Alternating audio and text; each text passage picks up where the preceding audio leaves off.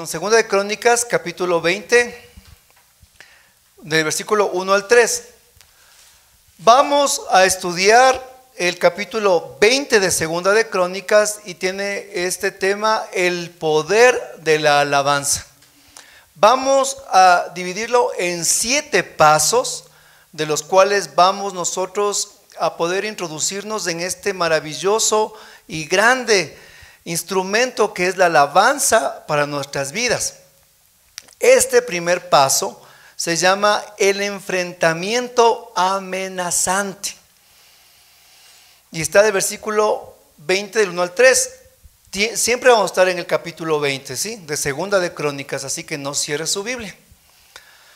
Después de esto, los hombres de Moab y la gente de Amón, y con ellos algunos maonitas, vinieron a pelear contra Josafat. Le avisaron a Josafat diciendo, viene contra ti una gran muchedumbre de gente del otro lado del mar de Edom, que está ya en Gesazón Tamor, o sea, en Gandí. Josafat tuvo miedo y consultó a Yahvé ordenando un ayuno a toda Judá. Palabra de Dios. Más fuerte, palabra de Dios. Nos situamos en un tiempo en el cual Israel estaba gozando de paz, prosperidad con los descendientes de David.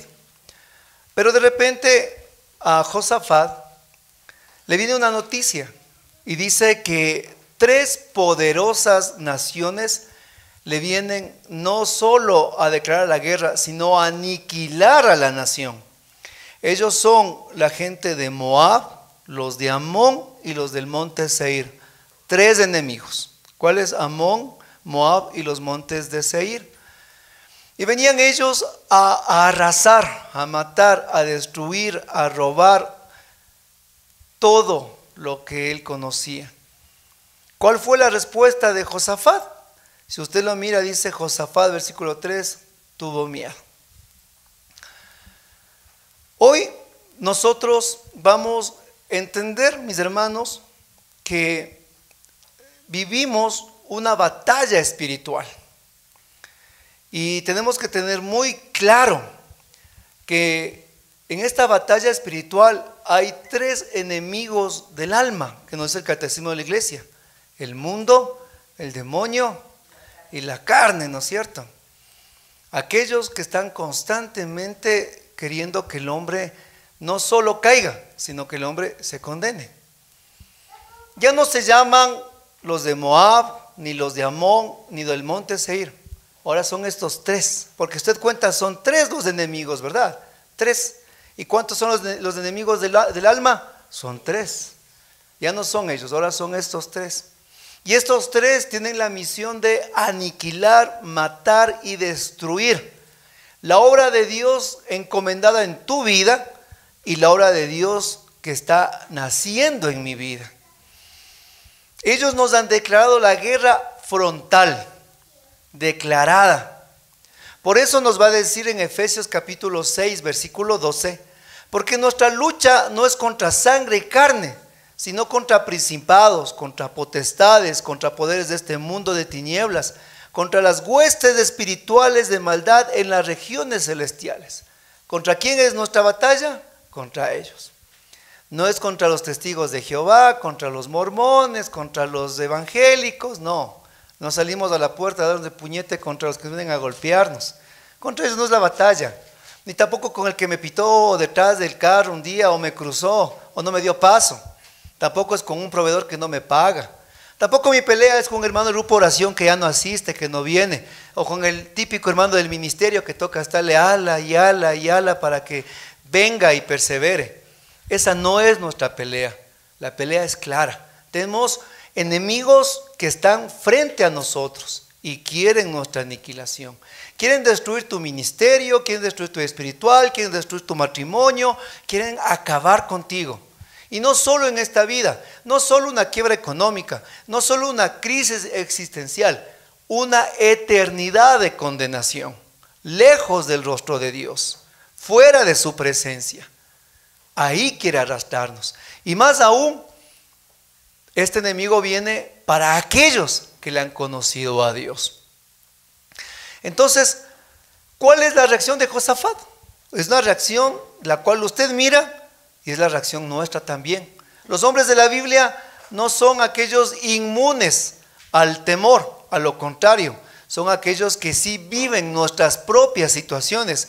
Pues dice en el versículo 3, Josafat tuvo miedo. Es que ¿quién no va a tener miedo? Pues oiga, es como que de repente aquí el Ecuador dice va a venir a, echarnos la guerra Colombia, Perú, ¿y cuál tenemos otro más al lado? Brasil. Imagínense esas tres naciones contra nuestro Ecuador. ¿Qué hacemos nosotros? Los tres nos declaran la guerra. ¿Qué haríamos nosotros? ¿Verdad? Ni el Chapulín Colorado nos va a salvar ahí. Entonces, ante eso, miramos que sí son fuertes nuestros, nuestros enemigos y que también el miedo es parte del proceso. Verán, el ser cristiano, el ser carismático, el estar en este camino de fe, no significa nunca tener miedo. Usted mire la Biblia y si usted ve que el, el más hombre de los hombres, ¿qué pasó en Getsemaní? Sudó sangre y tuvo no más que miedo, terror de muerte. Eso nos dice el Evangelio. Terror de muerte. ¿Quién? ¿Quién? El Hijo de Dios. ¿Quién? Jesús. Nuestro Salvador. ¿Quién? Nuestro modelo a seguir. Él tuvo miedo en Getsemaní. ¿Y por qué usted no se permite también tener miedo? en los momentos en que tenemos que entender que no somos los dueños de todo, no tenemos todas las respuestas, ni las sabemos todas las verdades. Pero ¿cuál va a ser la gran diferencia? Es lo que viene a continuación. No quedarnos paralizados en el miedo, en la desesperanza, sino en la actitud que tuvo Josafat. ¿Qué hizo Josafat? Consultó a Yahvé, dice la palabra. Y esa es la diferencia. Cuando Jesús le llevó a Jairo a la casa, ¿qué pasó con Jairo? En la puerta le salieron las lloronas, ya murió la hija. ¿Qué más? Vinieron los familiares, ya no molestes al maestro, acaba de morir tu hija. Oigan, ¿qué siente uno frente a la pérdida de un ser amado? Temor, miedo, tristeza. Pero Jesús, ¿qué le dijo a, ah, perdón, a, a Jairo ahí en Jafarnaúm? Le dijo, ¿Cómo le dijo? Le dijo, no tengas miedo, solo ten fe. ¿Cuáles fueron las palabras de Jesús? No tengas miedo, solo ten fe. Porque el miedo es un camino que nos lleva a la desesperanza. En cambio, la fe es un camino que nos lleva a la esperanza. ¿La Biblia nos permite tener miedo? Nos la permite. Los hombres de la Biblia la tuvieron, la tuvieron. Pero la situación es que no tenemos que quedarnos en ese lugar, sino tenemos que irnos al paso de consultar a Dios. No tengas miedo, solo ten fe. Frente a las lloronas, frente a los que dijeron la hija está muerta y frente a estas tres poderosas naciones que vienen a aniquilarnos, hoy es lo mismo. Hoy se llama, también nuestros enemigos, póngale el nombre a los enemigos de nuestro ministerio la falta de perseverancia, la falta de constancia, la falta de oración, las murmuraciones, los chismes, la falta de un liderazgo claro. ¿Cuáles son los enemigos que siente que el ministerio tiene? Póngale los nombres, que si usted no pone los nombres, entonces usted no sabe contra quién está peleando, está dando usted puñetazos al aire o como dicen escopetazos al cielo. Si usted pone el nombre, usted está poniendo al frente el punto donde va a tirar la bala. Pero mientras usted no tenga identificado los enemigos, entonces usted no sabe con quién pelear. Entonces, ante el miedo, ¿cuál es la vacuna? Consulte a Yahvé. Y más aún, no solo lo consultó, no solo oró, sino que él hizo la estrategia de los valientes. ¿Y cuál es esa? Ordenó un ayuno a toda Judá. Hermanos, ¿sabía usted, especialmente a los que están dormidos, ¿sabía usted que el ayuno cambia la voluntad de Dios. ¿Sabe usted eso? Vamos, si sabe que, bueno, bien, bien, usted ha de ayunar, ¿verdad? Vamos a ver a ese profeta que no quería ir a evangelizar ese país llamado Nínive. ¿Cómo se llamaba ese profeta? Jonás, muy bien. Jonás, cuando después de toda su historia llegó a Nínive y proclamó que iba a bajar fuego del cielo, ¿qué hizo el rey de los ninivitas? Él declaró ayuno. Y dice que todito Nínive ayunó, dice que hasta los animales ayunaron. Le hicieron caso a, perdón, ¿quién era? a Jonás. Y dice que Jonás se fue, se paró al frente en la montaña a ver cómo caía fuego del cielo y de repente no pasó nada. Y se enojó Jonás, pues, se enojó, se enojó con Dios. Dijo, por eso no quería ir, dijo, porque sabía que eres bueno, sabía que no les ibas a exterminar. Y Dios le habló muy lindo después a Jonás. El punto es, todo, todos los ninivitas ayunaron. Y la voluntad de Dios cambió porque Dios dijo, a estos les voy a exterminar como a Sodoma y Gomorra. Pero ellos se arrepintieron, ayunaron, oraron, clamaron y Dios cambió su voluntad. El ayuno tiene el poder de cambiar la voluntad de Dios. La pregunta es, ¿cuándo fue la, última vez que nuestro ministerio, y ahí me incluyó, ayuno como ministerio? Declaramos ayuno. Y no eran como algunos hermanos, no es que yo ayuné del WhatsApp, dice hoy día. Yo ayuné del WhatsApp. No, mi hermano. Después se desquita, se desquita del WhatsApp, pero estaba metido en el Facebook. ¿Cómo es eso? Entonces, vamos viendo armas. Yo le pido que no solo ustedes lo escuchen, sino te digan, en verdad, estas armas tengo que aplicarlas en mi vida de ministerio. Y por último, recuerde que en la Biblia hay 365 citas bíblicas que dicen no tengas miedo para cada día del año. ¿Sabe por qué? Porque nosotros tenemos miedo constantes. Miedos. Y son miedos reales, otros infundados y otros imaginarios, pero tenemos miedo. Pero la palabra nos pide que venzamos el miedo con el poder de la oración. Amén. Vamos al segundo punto. El segundo punto se va a llamar, en medio de la incertidumbre, encuentra la fortaleza en la unidad de la comunidad. En medio de la incertidumbre, encuentra la fortaleza en la unidad de la comunidad. No puedo leer todo el capítulo 20 de Segunda de Crónicas, más que algunos versículos claves para hacerlo más didáctico, pero usted, su obligación en casa es leer todo el capítulo completo. Nos va a decir en el versículo 5.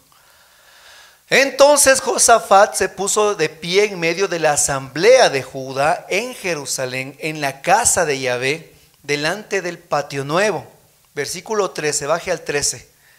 Todo Judá estaba de pie ante Yahvé con sus niños, mujeres e hijos. Palabra de Dios, te alabamos Señor.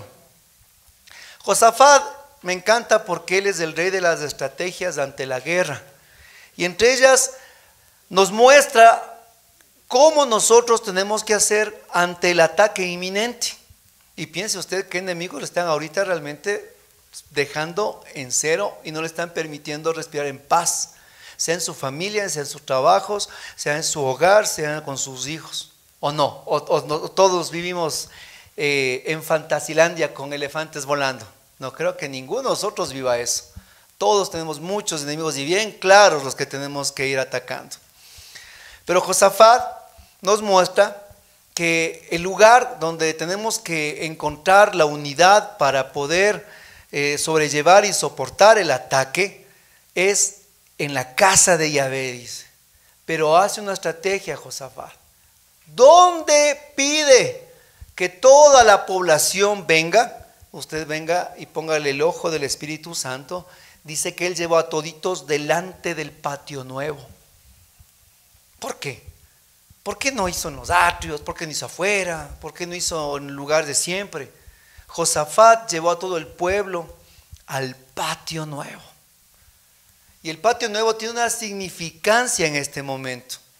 Porque en momentos de incertidumbre tenemos que mirar que son los nuevos tiempos, los nuevos cambios, son las nuevas estrategias las que Dios quiere darnos para poder soportar al enemigo. Hermanos, es bueno que nosotros dejemos atrás los moldes viejos. Recuerde, renovación carismática es renovar lo que fue nuevo, alguna vez nuevo, Dios que lo hace nuevo nuevamente todo. Nosotros no podemos al Espíritu Santo coger y meterlo en una jaula, porque Él es fuego y Él derrite la jaula, mi hermano. Tampoco podemos al Espíritu Santo meterle en esa misma jaula porque Él es viento y desaparece. ¿Y sabe cómo lleva esa jaula? Cuando nosotros en nuestra vida espiritual nos comenzamos a hacer cuadrados. A ver, tenemos 30 minutos. 5 minutos para esto, 5 minutos para este otro, 5 minutos para acá, 5 minutos para acá. Y cuidado se me pase los 5 minutos. Y verá que tiene que hacer la oración así, que tiene que hacer la oración acá. Hermanos, por favor, el patio nuevo. Josafat metió a todos al patio nuevo. Siempre estar abiertos a las sorpresas del Espíritu Santo. No podemos nosotros, hermanos, pretender hacer lo contrario que dijo Jesús. Jesús que dijo en Juan capítulo 4 a la mujer samaritana, nos descubrió lo que el Padre estaba pensando, lo que el Padre estaba buscando. ¿Y qué es lo que el Padre busca? Son adoradores, ¿verdad? Y lo creador en, en espíritu y en verdad. Dijo, mi Padre está buscando Solo acá nomás. Acá están en otro lugar. ¿Está buscando? Más fuerte, ¿está buscando? Es adoradores, no organizadores. Y a veces nosotros nos hemos convertido en los grupos de oración, en los ministerios, más que en adoradores, en organizadores. Y estamos nosotros, no sé, viviendo una experiencia. Ustedes no, ustedes son chéveres porque están dentro de los ministerios de música. Pero a medida que se va o visitando los grupos de oración, no sé qué pasa, qué sucede. Es algo que les repito una y otra vez. ¿Qué pasa con los hermanos en la renovación? Nacen a la vida nueva, nacen una libertad del Espíritu Santo, pero a medida que van caminando se van haciendo cuadrados, se van haciendo inflexibles, se van haciendo el prototipo, el prototipo del fariseo moderno, en el que más cuesta o más peregna la ley que la gracia. Entonces voy a un grupo, doy la enseñanza acerca del Ministerio de Música, una señora, hermano, que hace una pregunta. Digo, algo que no quedó claro el tema. No, dice otra pregunta personal. Le dije, ¿alguna cuestión su vida? ¿Qué pasa? Vea, dice, lo que pasa es que tengo una hermanita del Ministerio de Música. Ella no tiene el sacramento y quiero preguntarle si ella podrá cantar con nosotros o ella nos está contaminando al resto. Con las manos así. No, mi hermanos. Estamos nosotros dejando a un lado la gracia, la misericordia, el perdón para mirar la ley. Y estamos cambiando la Biblia por otro librito, y no es del mormón, sino de los estatutos y reglamentos, ¿no es cierto? Y estamos mirando no la gloria de Dios, como los fariseos. El hombre estaba caminando con la camilla, 38 años que había estado tirado paralítico. Y en el sábado comienza a caminar con la camilla. ¿Qué hicieron los fariseos? Verán, que era un, Jerusalén no era una metrópolis, no, era un pueblo pequeño, era. Y, más aún a los enfermos, todos los conocen, pues. 38 años de enfermo. ¿Qué hacen ellos? Se quedan viendo la camilla, no el que está caminando con la camilla. ¿Y por qué estás con la camilla en el sábado? No dicen gloria a Dios, está caminando. Por eso es que Josafat les mete al patio nuevo. Hermanos, rompamos las molduras que tenemos en la mente, en el corazón. Dios busca adoradores, no organizadores. No podemos nosotros mirar la camilla. Miramos, miremos, veamos al que está caminando con la camilla. No somos nosotros Dios para juzgar la situación personal de la persona. Nuestro, nuestro sentido, hermanos, es llevar el Evangelio, la palabra, la adoración. Y eso quiere constantemente el Señor de nuestras vidas. Y allí, en el patio nuevo, toda Judá estaba con sus niños, mujeres e hijos. Vean, ¿se dan cuenta? Cuando estamos en esa incertidumbre, nuestra fortaleza es la unidad de la comunidad. Estaba con los niños, con las mujeres y con los hijos. ¿Con quién estaban? Con la familia. Y por favor, no olvidemos que nuestro primer lugar de evangelización es nuestra familia. Que el primer lugar nosotros tenemos que lanzar las redes es nuestra familia. Que nuestro lugar primordial para hacer evangelización es la familia. Yo sé que como ministerios de música queremos dar conciertos, queremos estar en eventos, queremos estar repasando, pero no descuidemos la parte primordial, que es nuestra familia. Tenemos que tener la suficiente capacidad y astucia para que a través de nuestros ministerios nuestros hijos empiecen a ser injertados, nuestras familias empiecen a ser unidas, porque la música tiene mucho poder. No podemos pretender nosotros ganar el mundo para Cristo, mientras que en nuestra casa estamos perdiendo la batalla. Y esta, recuerde esta última frase para pasar al tercer punto. El grupo de oración está como está el servidor. Y el servidor está como está su familia. Esas son las matemáticas divinas. Repítalo. El grupo de oración está como está el servidor. Y el, y el servidor está como está la familia. Si es un grupo vago que no evangeliza, servidor vago que no evangeliza. Si es un grupo que no ora, es un servidor que no ora. Si es un grupo dedicado a los devocionales, vayan a ver el servidor lo que es.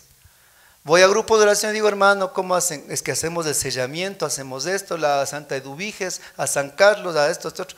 Digo, espere, espere, dedique el tiempo a nuestro patrono, al Espíritu Santo. Y el servidor es aquel que conduce la barca. Entonces el servidor es el que tiene que tener esa estrategia. Amén. Tercer punto, son siete. Crónicas 2020. Segunda de Crónicas 2020. Y en esta quiero usted que se acuerde de memoria, es fácil, no se va a olvidar en su vida. Son tres, dos en Crónicas. Segunda de Crónicas 2020. Y este es el centro ya de la enseñanza, la que nos va a catapultar recién a lo que queremos llegar con ustedes. Este tercer punto se llama la confianza es el cimiento de la seguridad y la victoria.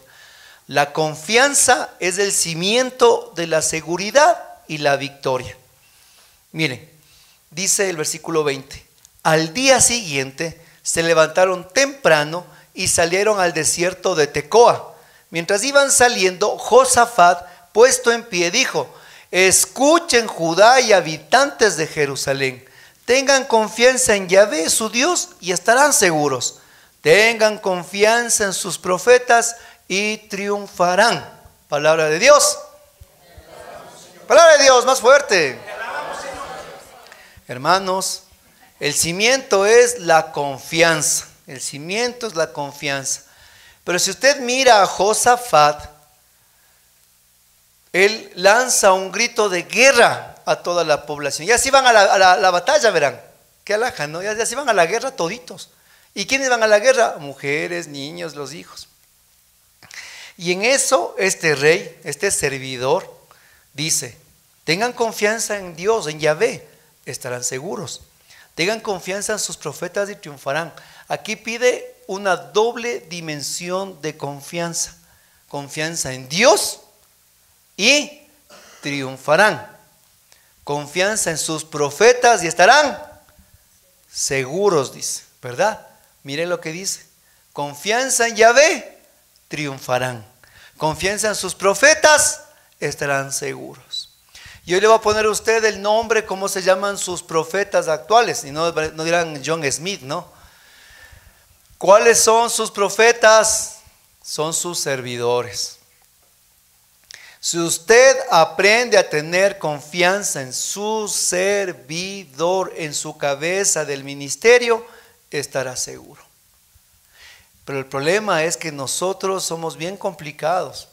Y uno de los graves problemas que tenemos en la renovación es la falta de sometimiento.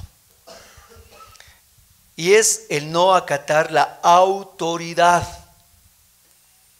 Y Josafat dice, ¿quieren tener ustedes, quieren triunfar en Dios? ¿Saben qué? Ninguno de nosotros tenemos problemas de confiar en Dios. Amén, gloria a Dios, sí. Pero en mi servidor, ay, sí, como que, no sé, pues la charita, dicen, ¿no es cierto? Solo charita nomás es, dicen, ¿verdad? Solo el hermano nomás es. Solo el Roberto nomás es, dicen, ¿no es cierto? Solo que, ¿cuál es el servidor de, de, acá, de nuestros hermanos? ¿No vino? Bueno, peor, dicen, no vino. Ah, ya del ministerio. No, pues del ministerio estoy diciendo yo. Ya del ministerio Damián, muy bien, gloria a Dios. Entonces, ¿quién va a confiar en Damián, no es cierto? muy bien. Lo que nos dice es que nosotros tenemos que aprender a confiar en nuestras cabezas, en nuestros servidores, para estar seguros.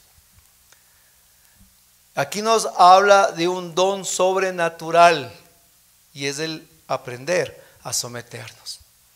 Es que en eso sí somos bien complicados, hermanos. Qué difícil es la falta de sometimiento, la falta de humildad, la falta en la que nosotros nos creemos a veces más que los demás. Y el hermano se levanta como nuestra cabeza, como nuestro servidor. Y digo nuevamente ustedes no, pero es uno de los problemas que se mira mucho en la renovación. Cuando hay antiguos servidores, en los cuales ni caminan ni dejan caminar, ni sirven ni dejan servir, ni hacen ni dejan hacer. Y son una sombra muy pesada para los nuevos equipos, los servidores. No dejan trabajar. Y ustedes tienen que permitir ser sensibles, humildes a las cabezas que Dios ha puesto para ustedes. Verán, en la iglesia no se maneja la democracia, por favor. Sí, no hay la democracia en la iglesia. ¿Y cómo eso, hermanitos, si votamos? No, es que aquí no votamos. Porque en la iglesia se maneja la teocracia, el poder dado de Dios de lo alto. Y usted tiene que entender que ese concepto divino se maneja desde el Papa hasta nosotros los laicos. Aquí tenemos que entender lo que Jesús le dijo a Poncio Pilato. ¿No acaso no crees? ¿Ves que yo tengo el poder, dijo, de liberarte? ¿Qué dijo Jesús? Uh Todo poder viene de lo alto, le dijo a Poncio Pilato. Tú no estás ahí porque tú quieres. Dios te ha puesto ahí. Y de igual manera, si Damián, si Roberto, si Charito están hoy como cabezas, como servidores ahí, es que Dios les puso. Y usted, aunque le, le, le remuerda, mi hermano, tiene que someterse a la cabeza de su comunidad. Porque dice la palabra que solo ahí usted estará seguro. Confía en Dios y triunfarás. Confía en tu servidor y estarás seguro. Dos puntos que son neurálgicos en un ministerio. Porque si no hay confianza de esa magnitud, entonces yo no voy a estar jamás seguro. Cuarto punto. Ahora sí, Después de esta, de esta introducción tan larga, disculparán, ahora sí empieza la predicación. Entonces, el cuarto punto se llama la alabanza y la trampa preparada por Dios. La alabanza y la trampa preparada por Dios. Y vamos a entrar en, materia totalmente de, de nuestro, nuestro ministerio, tomando en cuenta que este primer punto que estamos mirando ahora es de un tema introductorio, el poder de la alabanza. Y dice, versículo 20 y 21. Segunda, segunda Crónicas 20, 21.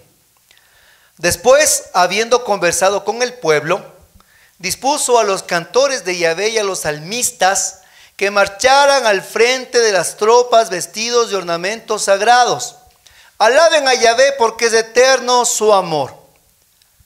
Palabra de Dios, te alabamos Señor. Versículo 21, ¿no? Capítulo 20, todo el tiempo estamos ahí. Josafat toma otra estrategia. Van mirando ustedes varias estrategias que toma ya Josafat. Espero que usted está notando. Diga estrategia 1 como ministerio. Hay una estrategia 2, 3, 4, 5. Si usted no agarra esos tesoros, no se preocupe. Ve la repetición en RSC Siloe y lo anota. ¿no es cierto? Yo sé que ustedes lo ven siempre. Entonces, dice que Josafat toma otra estrategia. Y después de haber hablado con el pueblo, él hace algo que a nosotros totalmente nos, dicen, nos vuela la teja. ¿Y qué es?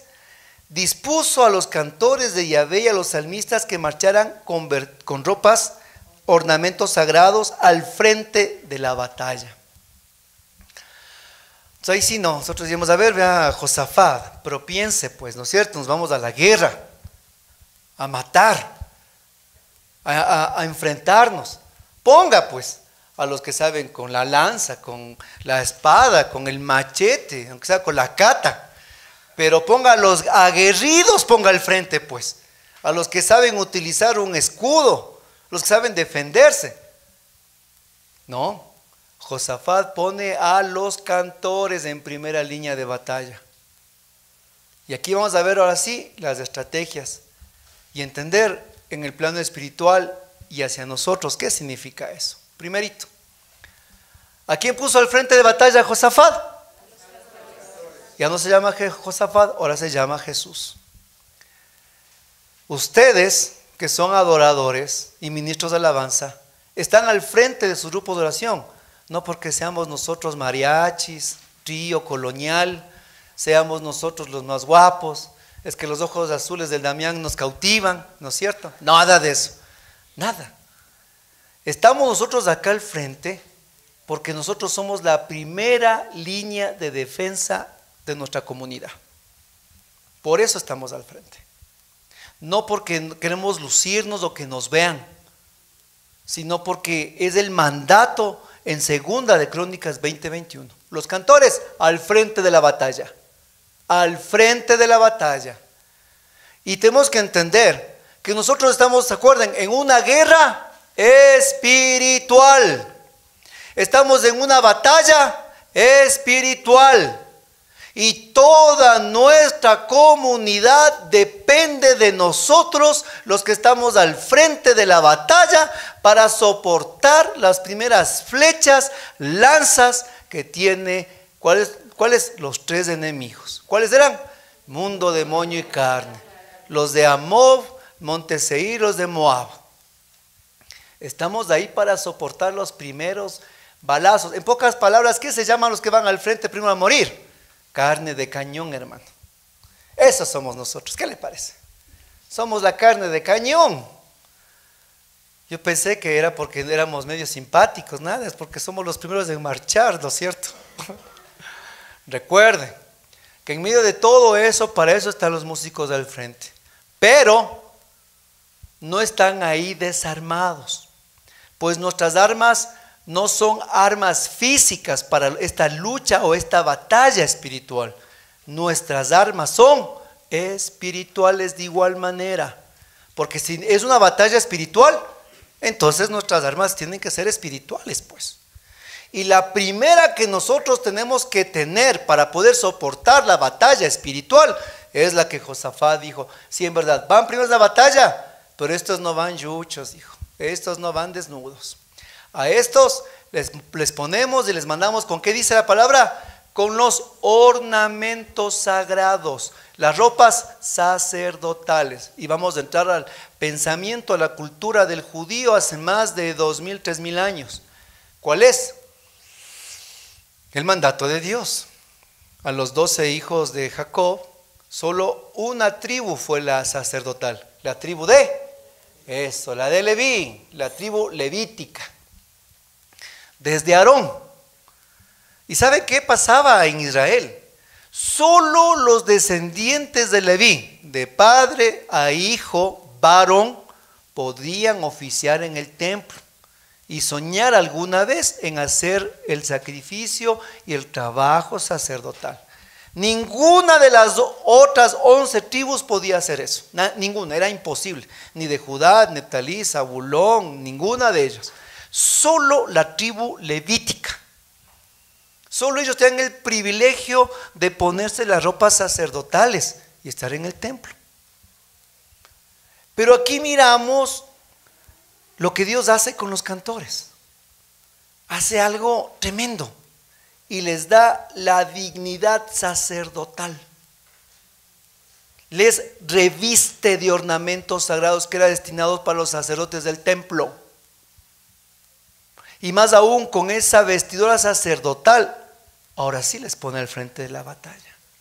Porque saben que mis hermanos, ¿dónde radica el poder de un ministro de alabanza? Radica en su consagración. Porque si usted ve a un sacerdote con su, con su ornamento sagrado, ¿usted qué dice enseguida? Él es consagrado, dice, ¿verdad? ¿Y consagrado qué significa? Apartado. Santo, el concepto de santo es apartado, consagrado. ¿Y sabe dónde radica el poder del, del adorador? ¿Dónde radica nuestro poder y nuestra fuerza? En la consagración. Porque espiritualmente, cuando nosotros estamos en esta batalla espiritual, estamos aquí al frente, Dios nos reviste de su sangre preciosa. Nos revestimos de la fuerza y del poder de Dios. Pero Él nos da a nosotros ese precioso y maravilloso, esa gracia desde el bautismo. Somos sacerdotes desde el bautismo. Somos profetas y somos reyes. Y espiritualmente tenemos que comprender que esa es nuestra mayor fuerza. Entonces yo tenía 19 años, ¿no? Y me encantaba ir a la misa del domingo porque las chicas cantaban y qué guapas que eran. ¿Qué diría el padre? Yo era así todo el tiempo. ¿No es cierto? y no, y diga, nada, esa primera piedra que no iba a la misa por eso, ¿no? Qué, Dios mío, si, cuando cantaban parecían ángeles en la tierra estas chicas. Y más aún cuando entraba el sol a las 7 de la mañana, se iluminaban solo ellos. Y por eso iban. Total, como éramos guambras y todo, me acuerdo que con mis hermanos, mis primos, hicimos una fiesta. Y uno de mis amigos dice, tenemos un marco musical, dice, ya contratamos, van a venir a amenizar la fiesta y todo. Qué chévere, qué chévere. ¿Y cómo se llama el grupo? Dice, se llama Exo. Digo, es como los de decir, como Zairo, dije yo, ¿no? Total, cuando estamos ya en la fiesta y todo, bueno, antes de estar en la renovación, es esto, por si acaso. De repente ya dice, ya llegaron los músicos. Yo por la ventana veo. Te les veo a los de la iglesia, a los del coro. Digo, ¿qué, van a cantar el Santo Santo? Digo yo. ¿Qué hacen aquí? Digo, no. Total, vinieron, pusieron un telón. Y cuando se alzó el telón, hermanos, empezaron, oigan, con toda la música líquida. Increíble. Las chicas se les escondió las alas, se salieron los cuernos y hasta los rabos les vi. Qué barbaridad. Cantaban súper bien. Las puñaleras, oigan. Increíble. Y la borrachera de los guambras de esa noche. Estaban contratados, ¿no? Hermanos, nosotros entendemos que nuestra fuerza nace en la consagración. Y si nosotros nos decimos músicos de Dios, entonces nos consagramos a Él, para Él y por Él. En pocas palabras, aunque le resulte a algunos incómodo, nosotros no estamos llamados para que con nuestra música, con, nuestra, con nuestras guitarras y nuestras voces, la gente empiece su corazón a desviarse de Dios. Porque esa es una de las tentaciones del músico. Cante unita, vea, cante unita. Usted está con el arte, cante unita, ¿no es cierto? Hágale unita, dice y unita, dosita y tresita, y cuidado le pasa como le pasó a Marcelo. Bueno, todos le conocen a, don Marcelo, ¿no es cierto? Él me conversaba una vez que antes, mucho antes de estar en la renovación, él había entrado al culto protestante. Entonces dice que él ya los días domingos no se quedaba a, tomar con los taxistas, a emborracharse, sino que Marcelo ya iba con la Biblia al culto. De repente, con la Biblia, pasa por los taxistas y les queda viendo, todos, Marcelo, Marcelo. Y él dice, ahora yo tengo el Espíritu Santo, les voy a evangelizar. Y se mete en los taxistas. Y yo, ¿qué pasó, Marcelito? Eran buenas las historias. Dice, dijeron, tome unita, dice, y dice, yo les acepté y les seguía hablando de la Biblia, dice, tome otrita y les seguía hablando. ¿Y qué pasó cuando me di cuenta? Estaba bien borracho ahí. Y toditos los de alrededor, ja, ja, ja, ja, ja, ja, ahí está el pastor, ja, ja, ja, ja, ja. yo bien borracho, dice. Pero eso no fue lo peor, digo, ¿qué fue lo peor? Que mientras estaba tan borracho, ahí sí pasó el pastor, dice. Pasó y dice. Y lo peor, me quedó viendo, dice. Tanta vergüenza me dio, tanta vergüenza, que en 10 años no pisé ni el, ni el culto, ni al frente de la iglesia, dice. Una década. ¿Se da cuenta? ¿Quién ganó ahí? La carne, hermano. Son tres enemigos. La carne ganó ahí. Y no es porque usted diga, ahora tengo el Espíritu Santo, ahora les voy a evangelizar. No, mi hermano. El cristiano tiene límites. Y si usted sabe que allá usted va a perder su consagración. No se vaya. Si usted sabe que allá va a estar esa antigua amiga del colegio que medio medio si le daba a usted Picasso, no vaya. Si usted sabe que tiene que borrar contactos, eliminar personas, bloquearlas, lo que sea, botar la computadora al fondo del mar, hágalo. Porque tenemos que aprender que nosotros tenemos límites. No somos superhéroes, no, somos de plomo. Somos bien débiles, mis hermanos. Y tenemos que entender que el poder que radica en nuestros ministerios es cuando nosotros tenemos la consagración. Y eso significa una vida sacramental en orden. Si usted siente por lo mínimo en su corazón que tiene que confesarse, corra al confesionario. No espere dos veces y no creo esos ministerios, no entiendo. Estamos en el evento, estamos en la asamblea, estamos en cualquier cosa, están en la comunión y no comulgan. ¿Por qué no comulgan? Les pregunto. Estamos cantando. Yo les digo, ahí están presentes, digo, déjenme de cantar, dejen de tocar, vayan a comulgar. No puedo, hermano, es que mi situación, ¿qué te pasa? ¿Que eres narcotraficante, guerrillero? ¿Qué eres? Le digo, tratas blancas, que no puedes ir a comulgar. No, es que tengo que Entonces, comulgas y en cinco minutos ahí está el padre, le dije, anda a confesarte. Porque nuestro poder radica en la consagración. Vea lo que dice aquí. O sea, si, si sabemos que estamos en una tremenda guerra espiritual, hermano, no se ponga usted desnudo frente a la asamblea. No se ponga desnudo usted frente a la comunidad. Cada vez que usted coge su guitarra, su pandereta, usted tiene que entender que Dios ya le revistió en la batalla espiritual porque el pueblo de Dios está en una batalla y ellos necesitan urgentemente que la gracia que de nosotros nace fluya hacia ellos. Santiago dice que de una misma fuente no pueden hacer el agua dulce y el agua salitre. Ni siquiera dice eh, agua salada, sino salitre, o sea, el agua sucia, pútrida. No hay doble faz, aquí no hay doble moralidad, doble vida. Aquí no es que alabo a Dios y por debajo yo estoy en, negocios ilícitos. No es que alabo a Dios y me gusta la pornografía. No es que alabo a Dios y me gustan las, las chicas del TikTok que bailan. Aquí alabo a Dios y yo estoy... No, mi hermano. Eso se llama, eso se llama otra cosa. Nosotros estamos llamados a tener una consagración total a Dios para que de verdad exista el poder en la asamblea. ¿Y qué está pasando con nuestras comunidades? Es porque no estamos nosotros consagrados y por eso es que no fluye el poder de Dios en la asamblea. Porque yo estaba parado un día en la ventana de mi casa, llovía, llovía y de repente comenzó a caer agua por todos lados. Digo, ¿qué está pasando? Subo y veo que la canaleta se ha llenado de tierra, pues la parte del hueco donde el agua tiene que salir. Y enseguida el Espíritu Santo me habla y me dice, tú eres así. Le digo, ¿cómo, Señor? Yo, yo mando agua viva, dice torrentes.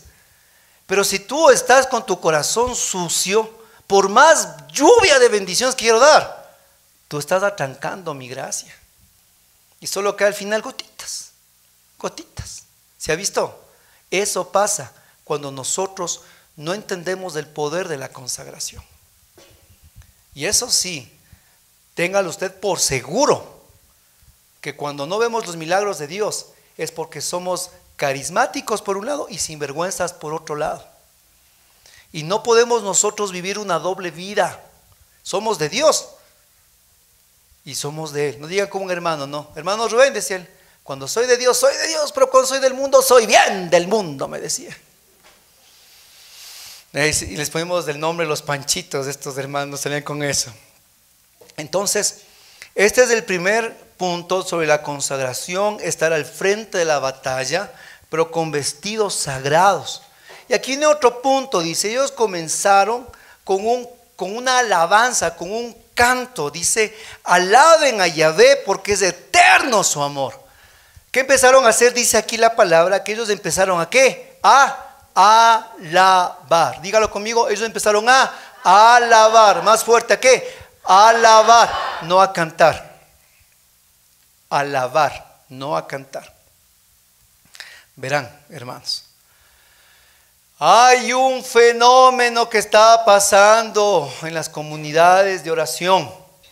Y es que los ministerios se han transformado de ministerios de alabanza a ministerios de canto. Y se han dedicado solo a cantar.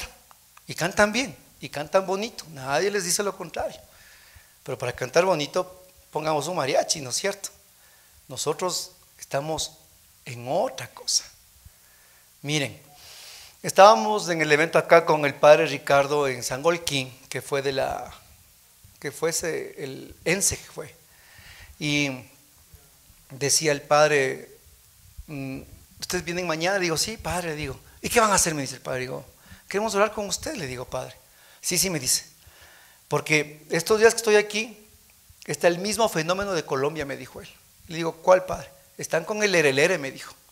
Están con el erelere. ¿Cuál lere? Están solo lere, lere, lere, lere, lere, me dice. No oran. Antes me dijo, no están orando los ministerios, me dijo el padre. Y eso es un problema que sí se está dando actualmente en la renovación. Porque nosotros hemos distorsionado lo que es la gracia del instrumento o con el propósito. ¿Qué quiere decir eso? Yo tengo una botella de agua que por aquí tenía. Aquí está. Vean hermanos, ¿qué es lo, más importante de esto que está aquí? ¿El, el envase lo que está dentro? Sí, no. El uno sin el otro tampoco pueden estar. Pero ¿qué es lo más importante? Es lo que está dentro, el agua. La canción es la botella. El problema se radica es cuando nosotros comenzamos a poner total énfasis solo en la música. No digo que sea malo, hermanos, yo vivo 28 años en este ministerio. La situación es que nosotros no estamos llevando al pueblo de Dios al encuentro con ese Jesús, con ese poder, con ese amor. Y estamos transformando nuestra espiritualidad. Y por eso tengo que adentrarme un poquito a un punto que quiero que usted entienda. Mire, mi hermano. Dentro de la iglesia nosotros encontramos un mar y un mar de espiritualidades y de caminos. La iglesia es muy rica. El Papa Francisco lo dijo, la unidad en la diversidad. Y usted como laico se para y dice, wow, es un mar inmenso, inmenso, de movimientos laicales. Juan 23, Camino Neocotocumenal, eh, ¿qué más? legiones, lamparitas, son, una cantidad de movimientos laicales que hay. Hay un sinfín. De también de, expresiones religiosas, que ignacianos, jesuitas, eh, bueno, que salesianos, y todas son buenas, todas son ricas, todos tienen experiencia propia de fe. Y usted se para en ese mar de la iglesia, y si usted no tiene un bote, una barca, usted naufraga. Porque hasta en ese camino usted encuentra también la religiosidad popular, pues. Y a cualquiera de ellas es buena, porque la iglesia les lleva al camino hacia Dios. Y entre tanta opción, usted tiene la espiritualidad de la renovación carismática. Y si Dios le ha traído a esta corriente de gracia, no es su voluntad, sino la voluntad suprema de Dios que la ha traído acá a esta corriente de gracia, a su grupo de oración y le ha puesto como líder de su ministerio. No es su voluntad, es la de Dios. Pero tenemos que ser fieles al fuego que se nos fue entregado, a cómo tenemos que darlo. Porque el problema que se está dando con la renovación en sí y con los ministerios es que están distorsionando su carisma. ¿Y cómo es eso? Simple y llanamente, como tan vasto es la espiritualidad de la iglesia, nosotros comenzamos a ver cómo es la forma en la que tienen diferentes realidades pastorales. Y nosotros nos queremos acomodar a las otras realidades. Y queremos de esas realidades traerlas para nosotros. Sin olvidar o olvidando que Dios ya nos ha entregado a nosotros un tesoro y una gracia. Y esa se llama la oración carismática. ¿Y cuál es el problema? Que al nosotros tener los 45 minutos llenos de canciones, nosotros estamos dejando a un lado la experiencia carismática, la oración carismática, la fuerza de Pentecostés, para solo entretener al pueblo de Dios. Y ese es el problema del por qué dicen los líderes de la renovación que los carismas se están apagando en los grupos carismáticos. ¿Por qué, mi hermano? Y por favor, póngale, voy a ponerle el, tornillo para que hermano ponga usted toda la atención. De los 45 minutos que tenemos nosotros del grupo de oración para iniciar la alabanza, o 50 minutos, esos 50 minutos que tenemos, compréndalo usted, es la gracia que Dios da para que se manifiesten los mismos signos prodigios de Pentecostés. Y le hago la pregunta a los grupos que están aquí. ¿Cuándo fue la última vez que nosotros ministramos la alabanza y se suscitaron dones y carismas en la comunidad? Y no se están suscitando los carismas y los dones del Espíritu porque estamos solo en el leer, el leer, el leer, el leer en los 45 minutos. No estamos orando. Y más aún, no estamos viviendo la experiencia carismática. Porque ¿saben qué? Todas las realidades de Cristo son buenas. Y con todo el respeto, y eso lo he dicho miles de veces, todas son buenas y todas son válidas, pero Dios te puso aquí. Y hermanos, en nuestra comunidad, nosotros tenemos que llevar la experiencia de Pentecostés a la comunidad. Y estamos perdiendo la experiencia de Pentecostés porque los ministerios están perdiendo la capacidad de alabar a Dios. Y lo único que la alabanza está convirtiéndose dentro de los grupos de oración es en un relleno de canción a canción y no en el centro de la oración. En su grupo oración máximo tendría que darse de tres a cuatro alabanzas y el resto dedicar a la oración. Y, el, y los ministros que están al frente tienen que direccionar a los hermanos a que vivan la experiencia carismática y que desde ustedes fluyan los dones de lengua, de profecía, palabra de conocimiento, de discernimiento, cantos en lenguas, discernimiento, interpretación en lenguas. Y esos carismas propios que son de la renovación solo se dan en el momento de la oración carismática cuando ustedes están ministrando. Pero como estamos dedicados a los cantos, entonces no hay ministración carismática. Porque tenemos que dejar a un lado los instrumentos y comenzar a, a, vivir la experiencia de los dones y carismas. Verán, los grupos de oración tienen esa gracia pentecostal solo en ese momento, no hay más. En la predicación viene otra instancia que Dios va a regalar en sus casas ellos viven otras experiencias personales. Pero solo en la alabanza carismática que ustedes dirigen en sus grupos es cuando se tiene que manifestar los carismas de Pentecostés.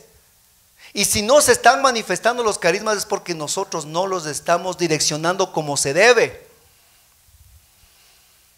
Tiene que haber la experiencia, se tiene que vivir los dones carismáticos. Tenemos nuevamente que pedir que la comunidad hable en lenguas que profetice. 57 años después, ¿qué vivimos nosotros? Somos la quinta, la sexta o hasta la séptima generación de los precursores que iniciaron esta corte de gracia. Y en nosotros esa bendición se está diluyendo y se están transformando los ministerios para hacerse en esta experiencia que les digo de iglesia, se están transformando. Ya no hay ministerios de alabanza, sino en ministerios musicales y muchos hasta en parroquiales, viviendo otra experiencia de la que no es nuestra propia identidad. Y ese es, el punto, mi hermano. Yo recuerdo una vez era servidor y esa noche tenía yo que dar la enseñanza, pero como muchos nos pasa, pecamos y no me sentía digno ni de llevar la oración ni de predicar. Así que le pedí a un hermano que por favor lleve la alabanza y a otro que predique. Y yo dije, hasta que busque el sacerdote cercano, dije entre mí. Total, llegué al grupo de oración y los hermanos se pusieron a hacer alabanza. Yo me puse ahí a un lado. De repente, mientras oraban, una hermana del ministerio dice, Dios te dice que ores en lenguas. Yo me quedo yo. ¿Y quién será, Dios? ¿Quién será? Después otra vez la hermana. Dios te dice, ora en lenguas. Después de un rato, ¿no? Digo, ¿qué este? ¿pero quién es este que no era en lenguas? Digo, desobediente. Y después de un rato más que seguían orando, orando, esta hermana dice, Rubén, pero me grita que viste con una... Dios te dice ora en lenguas. Yo que estaba con el pecado en la cara. No les voy a contar qué hice, si, quieren, no, no les voy a contar. ya están así, eh, emocionados. Entonces, oiga, abra la boca a hablar en lenguas cuando está embarrado, pues hermano, qué difícil, no se puede, es bien duro. Ay, y me enfrente a todo esto se quedaron así, como que todos se quedaron así, no. Yo abro los labios y empiezo a orar en lenguas. Me callo y otro hermano del grupo se levanta y dice, Dios dice, cuando cierras tu boca mi alabanza, es cuando más te amo. Eso fue contra mí. Y ahí me di cuenta, yo pensaba hasta ese momento que si yo le cantaba a Dios, Él me amaba mucho. O si yo estaba en gracia, o si yo estaba pues cero kilómetros, Dios me abrazaba y estaba en el cielo contento. Pero cuando yo pecaba, pues que estaba triste. Y que qué va a escuchar de la boca de un pecador la alabanza. Yo pensaba eso. Pero esa noche los dones carismáticos obraron en la comunidad para hacerme entender que Él me ama hasta en el más acérrimo de mis pecados. Y cuando yo no quiero abrir la boca para alabarle. Hizo que la hermana que estaba en el ministerio dé una palabra de conocimiento, porque se llama palabra de conocimiento. Y dijo, por tres veces, ora en lenguas, la tuvo que ser mi nombre. Segundo don, el de lenguas. Y después del don de lenguas, la interpretación en lenguas que dio otra persona en la comunidad. Tres dones carismáticos. Conocimiento, lenguas e interpretación. De tres personas diferentes para Dios dar un mensaje. Porque eso tiene que replicarse en nuestros grupos de oración. Y nuestros grupos de oración se da esa experiencia a través de ustedes a través de su ministración, a través de su oración, a través de su canto y a través de lo que ustedes llevan el carisma de Pentecostés. Eso se llama la oración carismática. Y por eso los carismas están apagándose y durmiendo, porque no estamos ministrando los carismas, porque tampoco los estamos conociendo ni desarrollando. Y algo que los ministerios tenemos que hacer urgentemente es hacer un desarrollo de los dones carismáticos desde nuestros propios ministerios. Lenguas, profecía, conocimiento, interpretación, donde lenguas, canto en lenguas, profecía en lenguas, eh, discernimiento en lenguas, donde ciencia, palabra de conocimiento, profecía. Cosas tales que ya no se está viendo. A los albores de la renovación, un grupo como estos, que uno no era en lenguas, era rarísimo. 57 años después de un grupo como este, que uno ora en lenguas, eso es rarísimo. Amén. Bueno, vamos al siguiente punto. La confusión del enemigo, faltan solo dos. Versículo 22 y versículo 23. En el momento en que comenzaron las aclamaciones y las alabanzas, Yahvé preparó una trampa en que cayeron los hijos de Amón, los de Moab y los montes de Seir, que habían venido para atacar a Judá. Pues los amonitas y los moabitas se echaron sobre los habitantes de los ceros de Seir para destruirlos y acabar con ellos. Y cuando acabaron con ellos, se mataron unos a otros. Palabra de Dios póngale, subrayele, pongan letras de oro, guárdese en la mente, en el corazón. El punto clave, en el momento en que comenzaron las aclamaciones y las alabanzas, el enemigo se confundió y se mataron entre ellos. En el momento donde que empezaron las alabanzas y las aclamaciones. Por eso es que este pueblo tiene que ser, mi hermanos, adoradores. Que levanten la alabanza, que levanten el clamor, que volvamos al primer amor, al Pentecostés personal y al Pentecostés comunitario. Porque nos dice que cuando empieza la alabanza, la primera nota musical, el primer canto, la primera alzada de manos y su voz empieza usted a alabar a Dios, hermanos, entre el enemigo que quiere matarnos, destruirnos, aniquilarnos, entre ellos se matan. Y ponga usted los enemigos que usted tiene en su vida. Y, y recuerde la palabra. Nosotros no alabamos a Dios cuando todo está bien. Nosotros alabamos a Dios para que las cosas se pongan bien. ¿Qué le parece? En el peor ciclón que estés, en la peor momento en que te encuentres, alaba a Dios. Eso nos hicieron también Pablo y Silas metidos en el pozo. Desnudos, apaleados, con grilletes, alababan a Dios, las puertas se abrieron. Y tenemos que entender y saber que si ya nosotros estamos al frente de la batalla con ornamentos sagrados, estamos viendo este nuevo Pentecostés y nosotros estamos alabando a Dios, hermanos, espiritualmente. Son cañonazos a las tinieblas. Son misiles hacia nuestros enemigos. Y por eso, por eso el enemigo sabe que los ministerios tienen tanta gracia y tanto poder de Dios que por eso son tan atacados, por eso somos tan atacados. Y la primera manera que el enemigo ataca los ministerios es a través del chisme, a través de la división, de la falta de sometimiento, porque sabe el mal que la gracia a través de ustedes fluye en poder, en liberación, en sanación. Vea mi hermano, la alabanza es un gran regalo que el Espíritu Santo ha dado a la renovación. ¿Cuántas personas han entrado a la conversión gracias a la alabanza? gracias al canto, gracias a la oración.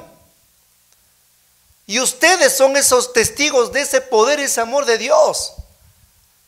¿Qué responsabilidad tenemos nosotros de que esto que está aquí en Crónica se dé en nuestros grupos de oración y se viva esa experiencia? No podemos quedarnos callados. Gloria a Dios. Sexto punto. Crónicas 24, o sea, todo el capítulo 20, ¿no? En la cumbre de la adversidad tendremos bendiciones inesperadas. En la cumbre de la adversidad tendremos bendiciones inesperadas. Cuando los de Judá llegaron a la cumbre desde donde se divisa el desierto, vieron todo el campo cubierto de cadáveres, sin que uno solo hubiera quedado con vida. Palabra de Dios. Mi hermano, ¿quieres tú ver los cadáveres de tus enemigos ahí? No dirán, no, del carnicero, del lechero, del que me debe plata, del SRI, ¿no es cierto? No. No piense esos enemigos, hermano, ya dijimos cuáles son. ¿Quiere ver usted ver los enemigos destruidos? Entonces tenemos que tener en cuenta que este ministerio tiene que subir a la cumbre de la oración. Dice que ellos llegaron a la cumbre, pero a la cumbre de la oración. ¿Sabe por qué? ¿Quién nos enseña que hay que ir a la montaña a encontrarse con el Padre? ¿Quién nos enseñó eso? Gandhi, Moisés, Mahoma, ¿quién nos enseñó? Jesús, ¿quién dijo Jesús? Se graduó del seminario Isaías 20 sobre 20 el que nos enseña que tenemos que subir al monte a encontrarnos con el Padre, es Jesús. ¿Y qué hicieron los apóstoles? ¿Qué le pidieron a Jesús que les enseñara? ¿A levantar muertos? ¿A multiplicar peces? Ya lo dijiste, muy bien, a orar. No dijeron, maestro, enséñanos a resucitar muertos. ¿Cómo hago? ¿Cómo hago? Enséñanos a multiplicar panes cuando tengamos hambre. ¿No es cierto? Enséñanos a caminar por las aguas, qué chévere, para que nos queden viendo las peladas. Enséñanos a orar. Ese es el pedido de los verdaderos apóstoles. Y si nosotros queremos ver el divisar los enemigos destruidos, ¿qué dice? Cuando llegaron a la cumbre de la oración. Nuestro mayor poder es en la oración. Y se reflejará. Porque los que verán los, miren, este es, este es un tesoro para, para los ministros adoradores, este tesoro. ¿Cuáles fueron los primeros que miraron a los enemigos muertos y destrozados? ¿Fueron quiénes? Los que estaban al frente de la batalla. ¿Quiénes eran? Los cantores. Ellos tuvieron esta primicia. Ellos fueron los primeros que miraron al enemigo destruido. Nosotros somos los primeros que vamos a ver a todos esos enemigos de nuestras vidas destruidos. Y por eso nos paramos al frente, porque testimoniamos, porque clamamos, porque lo que decimos es verdad, es realidad. Lo ha hecho conmigo el Señor, lo hará también con ustedes. Ya hemos visto destrozados enemigos, y hemos visto aniquilados nuestros enemigos, pero en el poder de la oración. San Agustín decía, nada sin oración todo por fruto de la oración. Miren, Nemías, el reconstructor, para presentarse al rey Artajerjes y que le envía a Jerusalén a reconstruir, Nemías oró cuatro meses para que el rey le dé el visto bueno. Y cuando llegó a Jerusalén, ¿sabe qué tiempo se demoró en reconstruir la muralla con el pueblo? Dos meses. Esas son las matemáticas celestiales. Dígalo conmigo, oramos el doble y trabajamos la mitad. No al revés. No repasamos del doble y oramos la mitad. No. Oramos del doble y trabajamos la mitad. Solo ahí veremos los enemigos destruidos. Y séptimo, Dios nos bendice más allá de nuestras expectativas y límites. Y terminamos. Dios nos bendice más allá de nuestras expectativas y límites. Versículo 25. Entonces Josafat con todo su ejército llegaron para recoger los despojos y hallaron gran cantidad de ganado, vestidos y objetos preciosos. Fue tanto el botín que tres días no fueron suficientes para juntarlo todo y no sabían cómo llevarlo. Hermano, esta frase tengo que leerle de, no, no de memoria, sino leerles. Dios puede convertir nuestras pruebas en oportunidades para recibir su gracia y su abundancia. Ellos no pelearon con nadie. Lo único que les faltó fue manos, dice. Que tres días de trabajo no fueron suficientes para coger tanta gracia, tanta riqueza y tanto botín. ¿Se dan cuenta? Dios no solo destruyó a los enemigos, sino que dio abundancia. Así que tú ves ahora a tu enemigo que te viene a querer, el enemigo económico, el enemigo de la infidelidad, la neurosis, la depresión, la falta de perdón, todas esas cosas que, cosas que están frente a nosotros. Y yo creo que tú sabes cuál es. Y si tomamos las estrategias de Josafat, hermanos, nosotros tomaremos la bendición y, nos faltarán manos para tomar todo lo que Dios nos va a entregar. Pero tenemos que aplicar estas estrategias, porque se va a transformar el, enemigo opresor a una bendición abundante. ¿Quién no ha vivido eso ya en su vida? ¿Quién puede decir gloria a Dios? Ya lo ha hecho Dios en nuestras vidas y ha, transformado al enemigo feroz en bendiciones abundantes. Y ha transformado la enfermedad en testimonio de su amor. Ya lo ha transformado. Ya lo ha hecho el Señor. Y hoy no será lo contrario. Lo volverá a hacer. Nos volverá el Señor a dar. Pero para eso, mis hermanos, queremos coger el botín, la bendición. Hay seis pasos previos para eso. No es que llegaron ellos así, ¿no? Listo, ¿dónde, ¿dónde cojo el oro y la plata? No, fueron seis pasos que tuvieron que surcar, porque esta es la frase que siempre les digo, y a ustedes les digo lo mismo. Dios es un Dios de procesos, no de sucesos. Dios es un Dios de procesos, no de sucesos. Y Dios quiere obrar, actuar en nuestras vidas a través de un proceso maravilloso. Y cuando nos entramos al proceso de su amor, es cuando vemos que las palabras bíblicas se saltan a nuestras vidas. Gloria a Dios. Denle aplauso al Señor, gloria a Dios. Más fuerte, más fuerte ese aplauso.